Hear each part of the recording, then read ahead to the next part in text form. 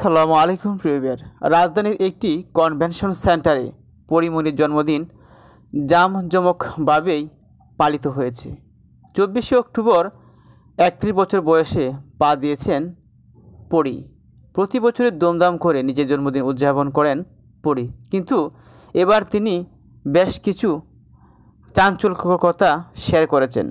তিনি বলেছেন, প্রতি বছর আমি জন্মদিন জাঁকজমক মানে পালন করলেও হয়তো এরপর থেকে আর এরকমভাবে উৎসবমুখর পরিবেশে পালন নাও হতে পারে। কিন্তু কেন তিনি কথা বলেছেন? পূর্বে যখন তার জন্মদিন পালিত হয়েছে, তখন রাজের সাথে তার বিয়ে হয়েছিল। সেটা গোপন ছিল, কারণ বিয়ে হওয়ার জন্মদিন থাকার এক সপ্তাহ পূর্বে তাদের বিয়ে হয়েছিল। তাই তাদের রাজকে ছাড়াই তার জন্মদিন পালিত হয়েছিল। কিন্তু এবার রাজকে নিয়েই, তার স্বামীকে নিয়েই প্রথমবারের মতন সবচেয়ে বেশি আনুষ্ঠানিকভাবে পালিত হয়েছে জন্মদিন। পরিমণি আরও বলেন, স্বামী রাজের সাথে আনুষ্ঠানিকভাবে এটাই আমার জন্মদিনের প্রথম অনুষ্ঠান। গতবারও হয়েছিল জামজমকপূর্ণভাবে তখন তো বিয়ের কথা প্রকাশ করিনি। জন্মদিনের এক সপ্তাহ আগে আমাদের বিয়ে হয়েছিল। তবে এবারই হয়তো এমন আয়োজনে আমার শেষ জন্মদিন উদযাপন হবে। শেষ জন্মদিন উদযাপন প্রসঙ্গে পরিমণি বলেছেন, আগামীবার তো আমার ছেলের প্রথম জন্মদিন পড়বে। ওর জন্ম হলো দশই আগস্ট। এর দুই মাস পর আমার। তাই আগামী বছর থেকে আমার মতো দুমদাম করে আমার ছেলের বাবুর জন্মদিন উদযাপন হবে, পালিত করব, পালন করব।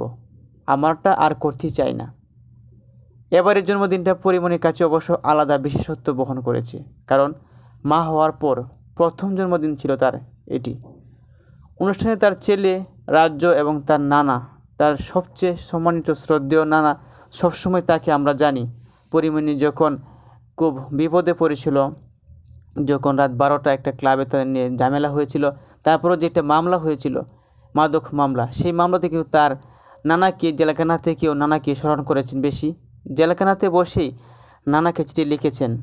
তাই তার সেই প্রিয় মানুষটি, সম্মানিত মানুষটি, শ্রদ্ধেয় মানুষটিকে নিয়েই পালিত হয়েছে অন্যান্য বছরের মতোই।